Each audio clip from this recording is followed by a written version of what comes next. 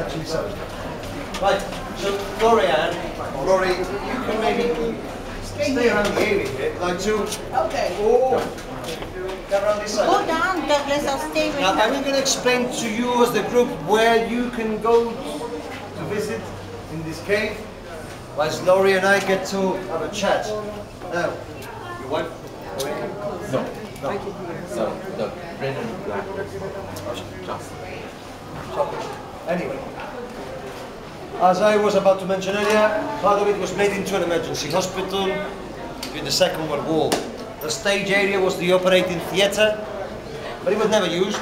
These steps you see as wide steps on either side were meant for the patients. You know, patients. Never used. Later was made into an auditorium with a capacity of 65 people. Walk down the steps, those of you want to, to the stage. There are steps on either side take you to the backstage. There you find margin bridging to the exit.